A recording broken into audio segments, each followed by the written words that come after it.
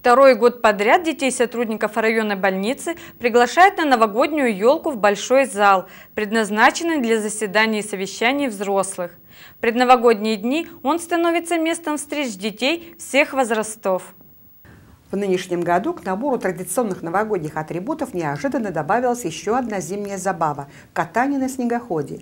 Детей из-за большого их количества пришлось разделить на несколько групп с учетом возраста. Но независимо от того, сколько кому лет, кататься на снегоходе не отказался ни один из тех, кто пришел на праздник, на елку, по месту работы папы или мамы. Трасса для катания была проложена по территории больничного городка. Ребята толпились, вставая в очередь и желая еще и еще раз прокатиться на таком экзотическом для большинства из присутствующих виде транспорта. Я катаюсь первый раз. Все очень круто. Впечатление вообще потрясающее. Не писать. Все здорово, все круто. Праздник понравился. Спасибо организаторам. Молодцы, для нас, для нас вот это первый, первый раз э, такой праздник. С праздника уходили, попив горячего чая с румяными булочками, загадав про себя желание обязательно прийти сюда через год.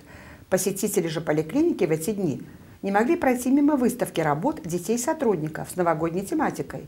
Каких только рисунков, поделок и самых неожиданных материалов не было на выставке.